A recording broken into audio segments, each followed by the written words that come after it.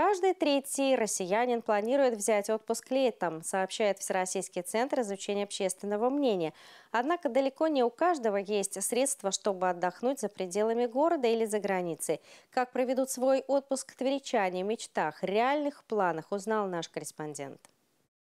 Лето – это прекрасная пора и время отпусков. Однако возможность провести время на курортах может позволить себе далеко не каждый. Половина респондентов, согласно опросам, собираются отдыхать дома. 28% проведут время на даче. Отправиться в путешествие по России планируют лишь 14%. А каждый десятый респондент хочет летом посетить Черноморское побережье Кавказа. 4% – Крым. За границей этим летом планируют отдохнуть какие-то 7% россиян. Но в их рядах будут и тверичане. Планировал в этом году посетить Мальдивы Мальдивы, потому что еще там не был. И, возможно, возможно, на Бали. Вот, ну, очень хочется. Собираемся на море с семьей в Сочи. Все очень просто. Муж боится летать, поэтому мы ездим на машине. Уже были, понравилось, хочется еще. Беру летний отпуск в августе. Какие планы?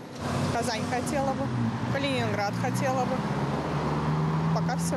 В среднем тверичане планируют потратить на недельный отпуск в этом году 51 тысячу рублей на одного члена семьи. Но чтобы отпуск был идеальным, по их мнению, требуется минимум 150 тысяч. Каждый пятый, а это 20%, признались, что вообще не могут себе позволить отдых в этом году. В условиях роста цен все больше жителей Твери и Московского региона отдают предпочтение доступным курортам Верхневолжья, например, пансионатам и турбазам Селигера, среди которых есть такие давно полюбившиеся отдыхающим, как, например, Палас отель Селигер, «Сокол» и другие. Ну а те, кто вообще не скопил ничего на отдых, отправляются на любимую до боли дачу. Скорее всего, это будет август в этом году в пределах Тверской области. Если отбросить финансовые вопросы, что бы хотелось посмотреть, где побывать? Тогда на море.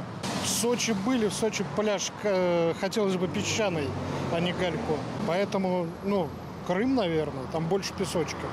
Женщины более скромны в своих отпускных запросах по сравнению с мужчинами. Для реального и для идеального отпуска представителям сильного пола нужно больше денег. Выше запросы на отпуск мечты у горожан в возрасте от 35 до 44 лет, а больше тратят опрошенные моложе 34 лет. Отпускной бюджет и запросы к затратам на неделю идеального отпуска ожидаемо растут с увеличением уровня дохода опрошенных. Увы, но мечты и реальные планы не всегда совпадают у тверичан на Байкал. Ну или на Дальний Восток. Так это отдаленно и недоступно для нас. И природа там очень красивая. Пока здесь отдыхаем на Волге, загораем. Между тем, некоторые тверичане и вовсе не планируют брать отпуск в летний период. Вообще никаких планов. Работать будете? Буду работать. Вообще в июне мне больше всего нравится. Где-то конец июня, начало июля. В этом году? В этом не получается. Очень много работы. На выходных за город. Тем не менее, работодатели обычно отмечают снижение продуктивности персонала в этот период. Причина может быть как в общем отпускном настроении, так и в летней жаре или накопившейся усталости. А лучший выход – вовремя использовать предоставленную возможность и уметь отдыхать. В конце концов, все мы трудимся, чтобы иметь деньги на жизнь.